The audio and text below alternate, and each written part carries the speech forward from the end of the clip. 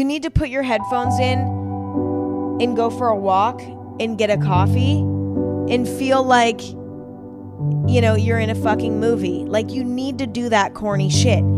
It sounds stupid and it sounds obvious and it sounds corny, but that's the stuff